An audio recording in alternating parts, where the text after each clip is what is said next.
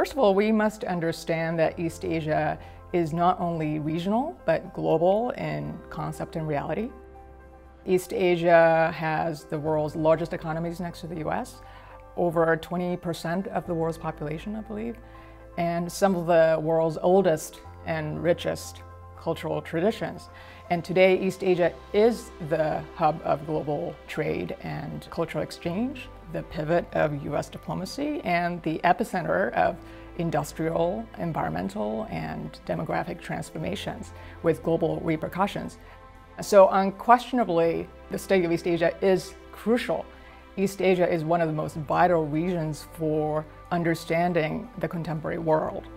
When people thought about East Asian studies before, the assumption was we were going to study sort of traditional East Asia, its history and, and culture and religion and, uh, and this, and language, certainly. And, and that's still very much the core of East Asian studies. But if you ask what is the connection with East Asia intellectually or in scholarship, then that expands enormously beyond the core focus of East Asian studies per se. The scope of interest in East Asia now spans virtually the entire spectrum of academic interests. Its most important function is the interaction of the disciplines. It's important that students are able to cross breed in a sense to go into other areas as well. Students who stick too closely to within one discipline really don't do as good work in their research. And so the center is the place to meet and to interact and to find out what's going on elsewhere. It is absolutely crucial for Stanford to foster deeper understanding and engagement with the world by exposing our students to different people, cultures, and languages from a variety of disciplinary perspectives. And this is precisely the core mission of CEAS as an area studies program.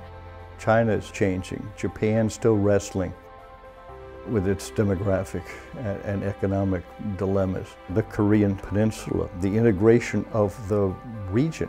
The importance of Asia is obvious. If it's not obvious to you, you got a problem. It's a region of superlatives. The most people, biggest economies, biggest militaries, most nuclear weapon states, largest military budgets, largest trade, largest foreign exchange holdings, largest economic trade relationship with the United States.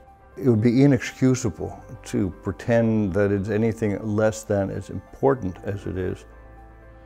What excites me is when we, as scholars and researchers, actually engage in collaborative work, certainly in systematic discussion, but also in sharing of information, building institutional ties, I think that really deepens understanding significantly and leads to a much richer outcome of a scholarly pursuit.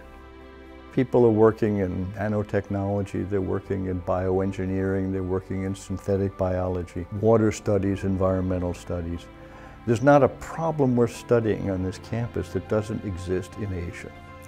And for many of them, either Asia or particular countries in Asia are a part of the problem and they've got to be a part of the solution.